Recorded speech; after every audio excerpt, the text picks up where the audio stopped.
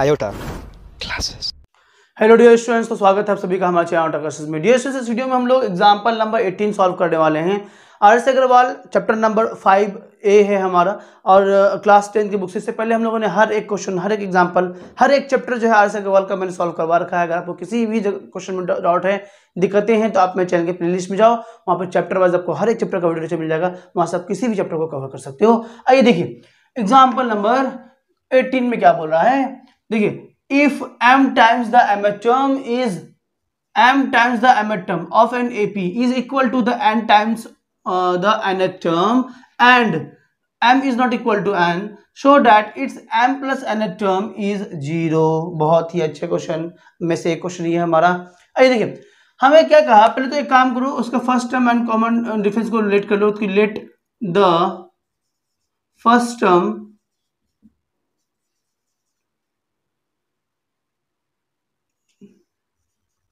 and common difference first term and let the first term be a and common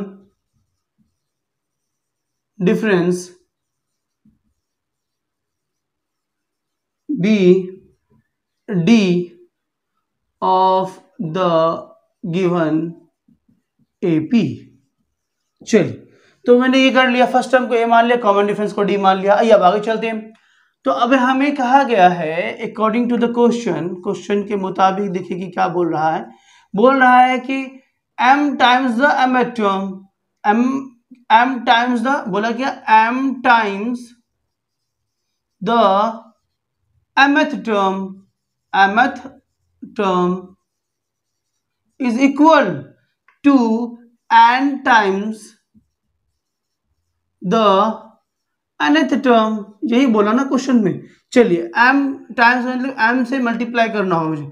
तो m times times का मतलब हो गया multiply of एमथ term यानी कि टी एम आई होप सबको समझ में आ गया होगा। Is equal to n times the nth term यानी कि n multiply by T n ये दोनों इक्वल है, बोल दिया। तो इक्वल कर दिया। अब इसका फॉर्मूला लगाते हैं। अच्छा साइड में साइड में अब क्या करो? हमें देखो, बोला गया it's m plus n term m plus n term तो सोचो जरा से एम प्लस एन टर्म क्या होगा? कि टी हमें बोला कि टी एम प्लस एन ये बात बोल रहा है। इज़ इक्वल टू ज़ीरो हमको दिखाना है कि इतना इक्वल टू ज़ीरो होगा। ये हमको दिखाना तो तुम देखो तो इसका अगर फॉर्मूला लगाऊँगा तो मैं ए प्लस एन की जगह पर इस बार हमारा एम प्लस एन है। तो यानी कि m plus n minus one into d is equal to zero यानी कि अगर मैं इतना ले दिखा दूँ तो यही तो ये चीज़ मेरा है।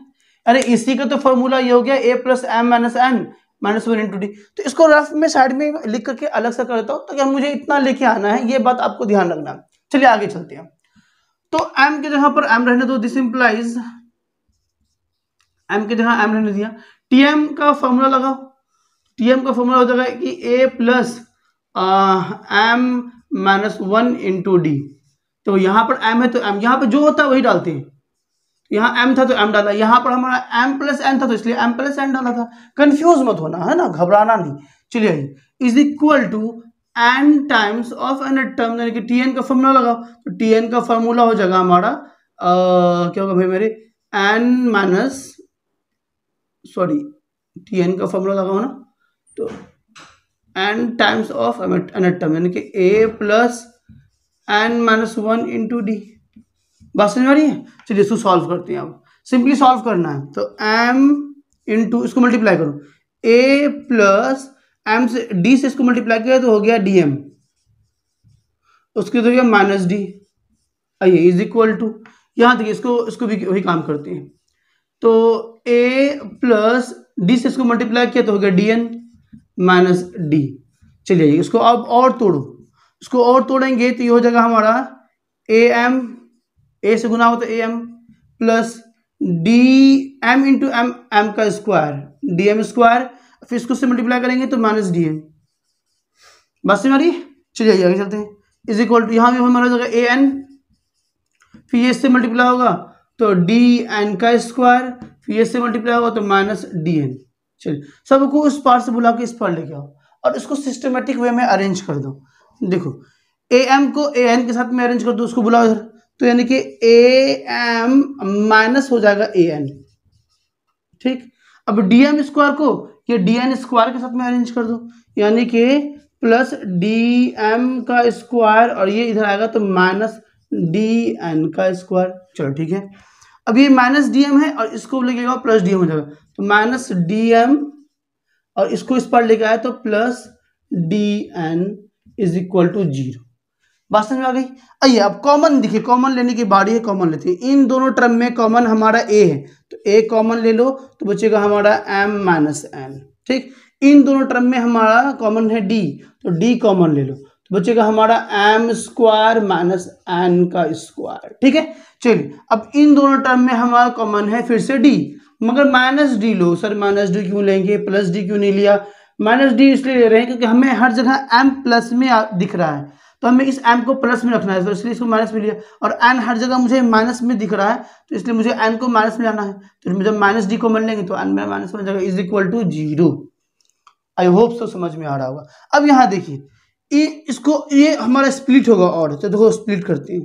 तो a into m minus n plus देखो, ये डी को डी रहने दो।